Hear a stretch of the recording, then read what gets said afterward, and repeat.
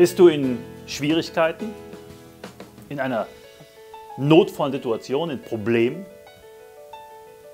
Steckst du in einer Situation, wo du sagst, das Leben spielt mir übel mit? Das alles, was mir hier passiert, ist nicht fair?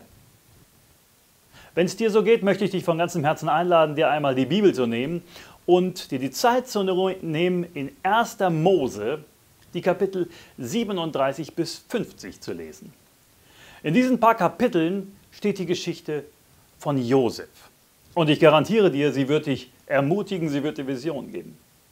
Denn Josef, etwa ab dem Alter von 17 Jahren, erlebte eine Katastrophe nach der anderen in seinem Leben, bis er letztlich im Gefängnis landete. Und zwar in einer Art Hochsicherheitsgefängnis des ägyptischen Palastes. Und wir müssen uns bewusst machen, das war vor über 3000 Jahren. Das war ein Ort des Schreckens, das war ein Ort der Folter, das war ein Ort, aus dem gab es kein Entrinnen. Das kann man nicht mit einem Gefängnis von heute vergleichen.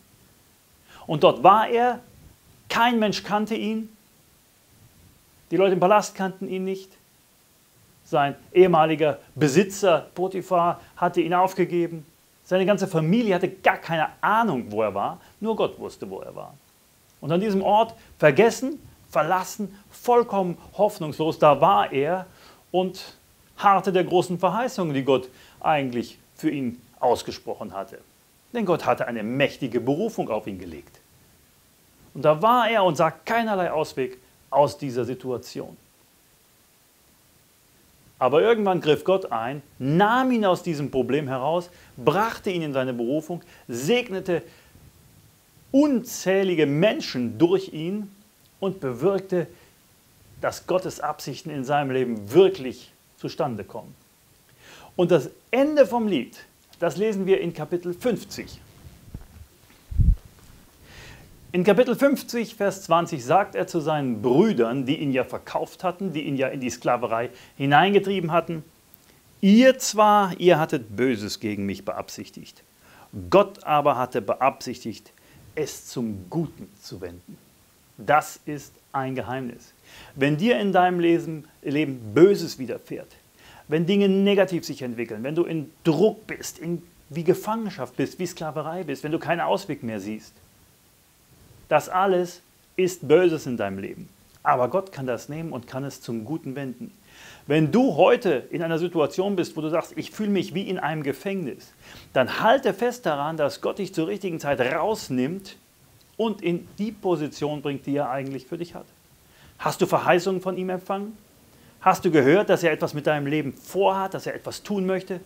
Halte daran fest und du wirst sehen, dass du hineinkommst.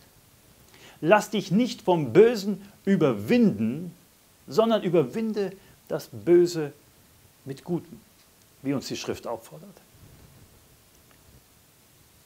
Gott kann das Böse, was in deinem Leben passiert, die Schwierigkeiten, die notvollen Situationen, die Wüste, durch die du gehst, die Gefangenschaft, in der du steckst, die Sklaverei, nehmen und zum Guten wenden. Und das ist das, was ich dir weitergeben will.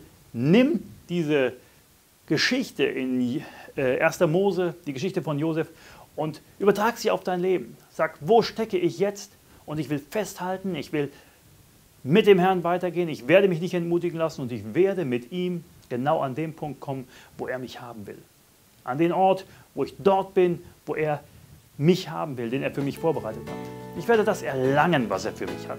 Und ich lasse mich von den Umständen, in denen ich momentan stecke, nicht berauben, nicht mich fertig machen lassen, sondern ich weiß, Gott hat einen Ausweg, auch wenn ich ihn nicht sehe. In dem Sinne glauben wir, Gott hat viel mehr für dich.